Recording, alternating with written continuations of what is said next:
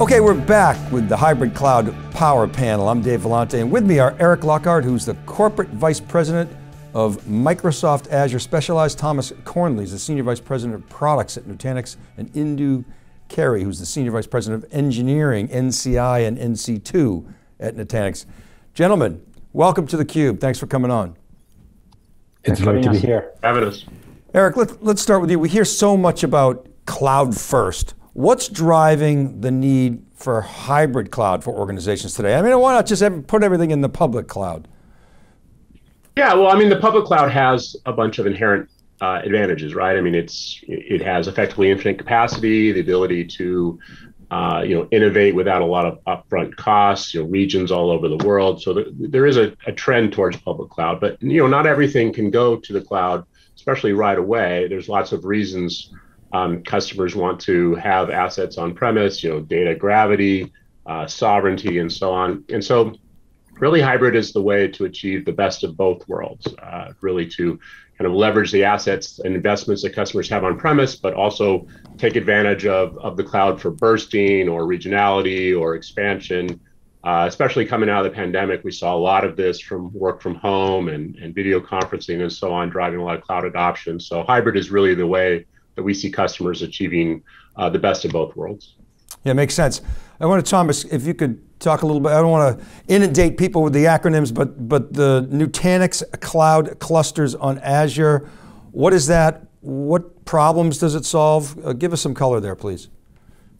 Yeah, Dave. So, you know, cloud clusters on Azure, which we actually call NC2 to make it uh, simple and easy. So NC2 on Azure is really our solutions for hybrid cloud, right? And you think about hybrid cloud, highly desirable. Customers want it. They, they know this is the right way to go for them, given that they want to have workloads on premises, at the edge, and in public clouds. But it's complicated. It's hard to do, right? And the first thing that you deal with is just silos, right? You have different infrastructure that you have to go and deal with. You have different teams, different technologies, different areas of expertise.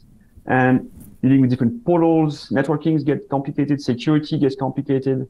And so you've heard me say this already you know, hybrid can be complex. And so what we've done with NC2 on Azure is we make that simple, right? We allow teams to go and basically have a solution that allows you to go and take any application running on premises and move it as is to any Azure region where NC2 is available. Once it's running there, you keep the same operating model, right? And that's something that's actually super valuable to actually go and do this in a simple fashion, do it faster, and basically do hybrid in a more cost-effective fashion you know, for all your applications. And that's really what's really special about NC2 on Azure today.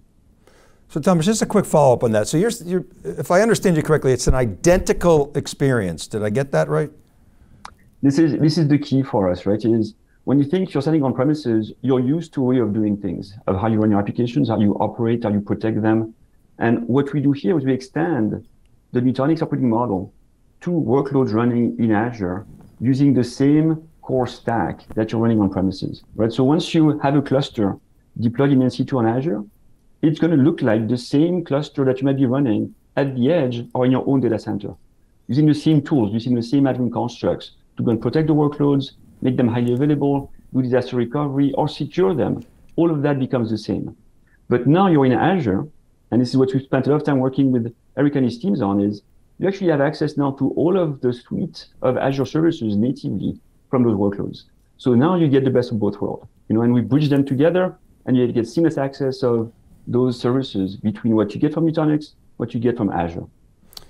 Yeah, and as you alluded to, this has traditionally been non-trivial and people have been looking forward to this for, for quite some time. So Indu, I want to understand, from an engineering perspective, your team had to work with the Microsoft team, and I'm sure there was this. This is not just a press release, this is, this is, or a PowerPoint. You had to do some some engineering work. So, what specific engineering work did you guys do, and what's unique about this relative to other solutions in the marketplace? So let me start with uh, what's unique about this, and I think Thomas and Eric both did a really good job of describing that the best way to think about what we're delivering jointly with Microsoft is that it speeds up the journey to the public cloud.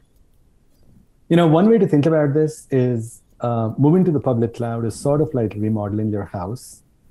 And when you start remodeling your house, you know, you find that you start with something, then before you know it, you're trying to remodel the entire house.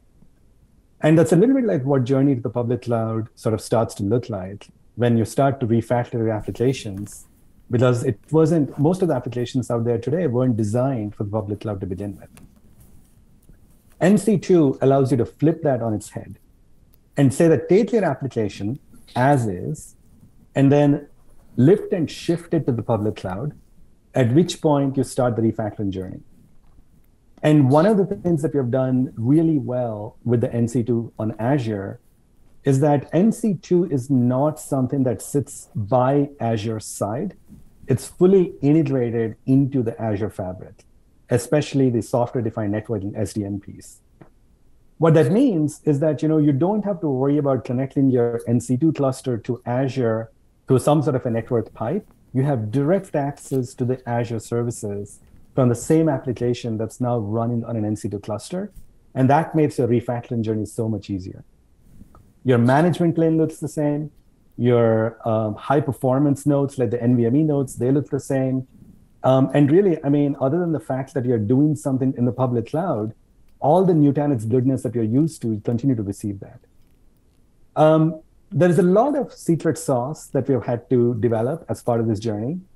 But if I had to pick one that really stands out, it is how do we take the complexity, the network complexity of a public cloud, in this case, Azure, and make it as familiar to Nutanix customers as the VPC construct, the virtual um, private cloud construct, that allows them to really think of their on-prem uh, networking and the public cloud networking in very similar terms there's a lot more that's gone on behind the scenes. And by the way, I'll tell you a funny uh, sort of anecdote. My dad used to say uh, when I grew up that, um, you know, if you really want to grow up, you have to do two things. You have to like build a house and you have to marry your kid um, off to someone. And I would say I would add a third, do a co-development with a public cloud provider or with a partner. this has been just an absolute amazing journey with Eric and the Microsoft team, and we're very grateful for their support. I need NC2 for my house. I live in a house that was built in 1687, and we connect old to new, and it's, it's, it's it is a bolt-on. But but but and so but but the secret sauce. I mean, there's there's a lot there. But is it a PaaS layer? I mean, you didn't just wrap it in a container and shove it into the public cloud. You've done more than that. I'm inferring. You know, the it's actually an infrastructure layer offering on top of which you can obviously run various types of platform services. So, for example down the road, if you have a containerized application, you'll actually be able to take it from on-prem and run it on uh, NC2. But the NC2 offer itself, the NC2 offering itself is an infrastructure level offering. And the trick is that the storage that you're used to, the high performance storage that you know define Nutanix to begin with, the hypervisor that you're used to, the network constructs that you're used to, like microsegmentation for security purposes, all of them are available to you on NC2 in Azure, the same way that you're used to do on-prem. And furthermore, managing all of that through Prism, which is our management interface and management console, also remains the same. Um, that makes your security model easier, that makes your management challenge easier, that makes it much easier for an application person or the IT office to be able to report back to the board that they have started to execute on the cloud mandate, and they've done that uh, much faster than they would be able to otherwise. Great, thank you for helping us understand the plumbing. So now, Thomas, maybe we can get to like the customers. What, what are you seeing? What are the use cases that are that are going to emerge for this solution? Yeah, I mean, we've you know we've had a solution for a while. You know, this is now new on Azure is going to extend the reach of the solution and get us closer to the type of use cases that are unique to Azure in terms of you know, solutions for analytics and so forth. But the kind of key use cases for us, the first one, you know, Indu talked about it, is migration. You know, we see customers on their cloud journey. They're looking to go and move applications wholesale from on-premises to public cloud. You know, we make this very easy because in the end, they take the same concepts that were around the application and make them, we make them available now in the Azure region. You can do this for any applications. There's no change to the application, no networking change. The same IP config will work the same whether you're running on premises or in Azure the app stays exactly the same, managed the same way, protected the same way. So that's a big one. And you know, the type of drivers for to particular maybe I want to go do something different, or I want to go and shut down a location on premises. I need to do that with a given timeline. I can now move first and then take care of optimizing the application to take advantage of all that Azure has to offer. So migration, and doing that in a simple fashion, in a very fast manner, is, is a key use case. Another one, and this is classic for leveraging public cloud for what you're doing on premises, is disaster recovery. And something that we refer to as elastic disaster recovery. Being able to go and actually configure a secondary site to protect your on-premises workloads, but having that site sitting in Azure as a small site, just enough to hold the data that you're replicating, and then use the fact that you cannot get access to resources on demand in Azure to scale out the environment, fade over workloads, run them with performance, potentially feed them back to on-premises, and then shrink back the environment in Azure to, again, optimize cost and take advantage of the elasticity that you get from public cloud models. Then the last one, building on top of that, is just the fact that you cannot get bursting use cases. I may be running a large environment, typically desktop eh, you know, VDI environments that we see running on premises.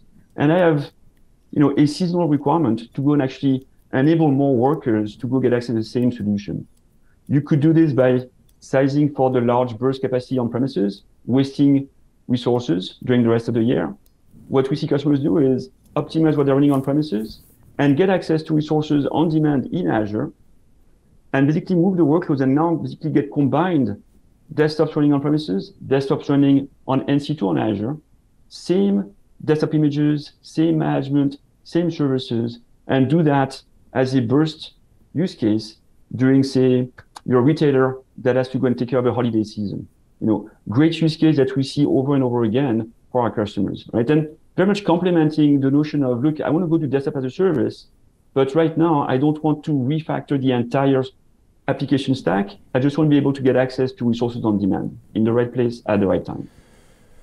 Makes sense. I mean, this is really all about supporting customers' digital transformations. We all talk about how that was accelerated during the pandemic, and but the cloud is a fundamental component of the digital transformations. And Eric, you, you guys have obviously made a commitment between Microsoft and, and Nutanix to simplify hybrid cloud and that journey to the cloud. How should customers you know, measure that? What does success look like? What's the ultimate vision here? Well, the ultimate vision is really twofold, I think. The one is to, you know, first is really to ease a customer's journey to the cloud, to allow them to take advantage of all the benefits of the cloud, but to do so without having to rewrite their applications or retrain uh, their their administrators and or or to obviate their investment that they already have in platforms like like Nutanix. And so the the work the companies have done together here you know, first and foremost is really to allow folks to come to the cloud in the way uh, that they want to come to the cloud and take really the best of both worlds, right? Leverage leverage their investment in the capabilities of the Nutanix platform, but do so uh, in conjunction with the advantages and and um, capabilities of, of Azure. You know, secondly is really to extend some of the cloud capabilities uh, down onto the on-premise infrastructure. And so, with investments that we've done together with Azure Arc uh, for example, we're really extending the Azure control plane down onto on-premise Nutanix clusters and bringing the capabilities that that uh, provides to the, uh, the, Nutanix customer as well as uh, various Azure services like our data services and Azure SQL Server. So um, it's really a, uh, kind of coming at the problem from from two directions. One is from kind of traditional on-premise up into the cloud, and then the second is kind of from the cloud, leveraging the investment customers have in, in on-premise HCI.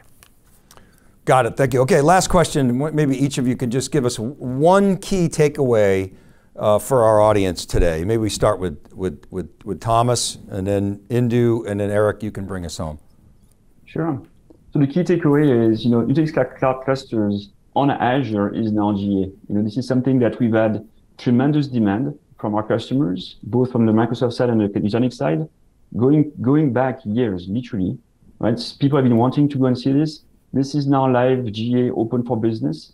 And you know, we're ready to go and engage and ready to scale. Right? This is our first step in a long journey in a very key partnership for us at Nutanix. Great. Indu? You know, Dave, in a prior life, about seven or eight, uh, eight years ago, I was uh, part of a team that took a popular tax preparation software and moved it to the public cloud. And that was a journey that took us four years and probably several hundred million dollars. And if we had had NC2 then, it would have saved us half the money, but more importantly, would have gotten there in one third the time. And that's really the value of this.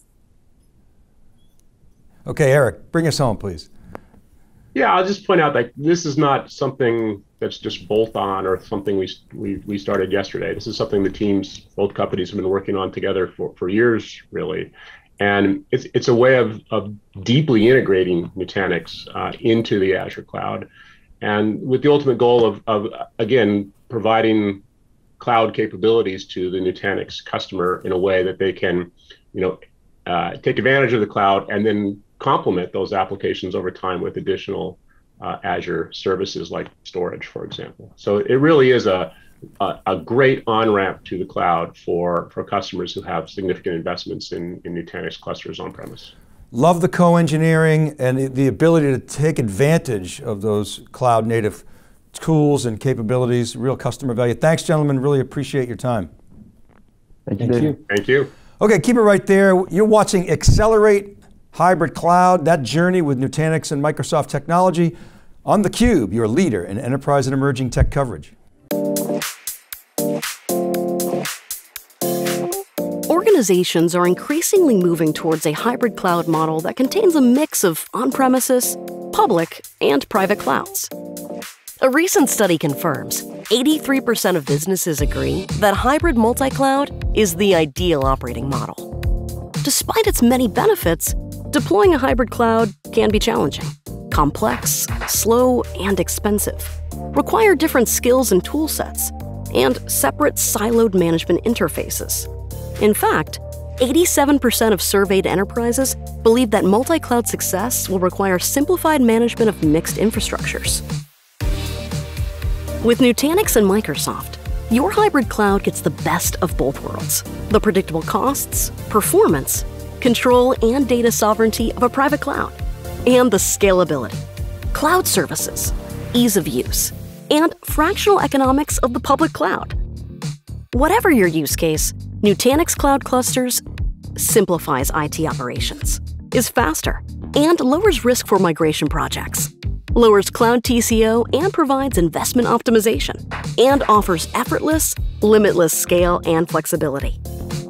Choose NC2 to accelerate your business in the cloud and achieve true hybrid cloud success.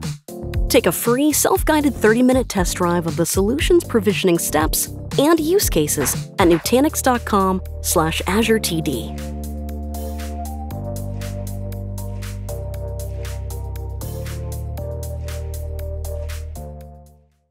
Okay, so we're just wrapping up Accelerate Hybrid Cloud with Nutanix and Microsoft, made possible by Nutanix, where we just heard how Nutanix is partnering with cloud and software leader Microsoft to enable customers to execute on a true hybrid cloud vision with actionable solutions. We pushed and got the answer that with NC2 on Azure, you get the same stack, the same performance, the same networking, the same automation, the same workflows across on-prem and Azure estates, realizing the goal of simplifying and extending on-prem workloads to any Azure region to move apps without complicated refactoring and to be able to tap the full complement of native services that are available on Azure. Remember, all these videos are available on demand at thecube.net, and you can check out siliconangle.com for all the news related to this announcement and all things enterprise tech. Please go to Nutanix.com. There's, of course, information about this announcement and the partnership, but there's also a ton of resources to better understand the Nutanix product portfolio. There are white papers, videos, and other valuable content. So check that out. This is Dave Vellante for Lisa Martin with theCUBE, your leader in enterprise and emerging tech coverage. Thanks for watching the program, and we'll see you next time.